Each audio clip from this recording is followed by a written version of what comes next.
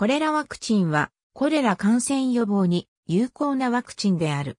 はじめの6ヶ月は、約85%の効能があり、初年の効能は50%から60%である。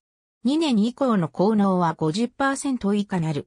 大部分の人口が予防接種をすることによって予防接種を受けていない人も集団免疫によって予防される。世界保健機構は感染の危険性が高い人には他の予防対策と組み合わせたワクチンの使用を推奨している。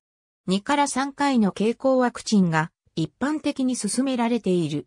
注射ワクチンもあるが世界どこでも入手できるわけではない。2010年に数カ国で注射投与できるこれらワクチンが入手できた。経口ワクチンは一般的に安全である。副作用により軽い腹痛や下痢が発生することがある。妊娠中や免疫機能の低い人にも安全に服用できる。このワクチンの使用は60カ国以上で認められている。これらが発症する国での予防接種は経済的に効果的である。初期のコレラワクチンが開発されたのは1800年代後半である。コレラワクチンは初めて研究室で作られ幅広く使われるようになったワクチンである。経口コレラワクチンが使用されるようになったのは1990年代である。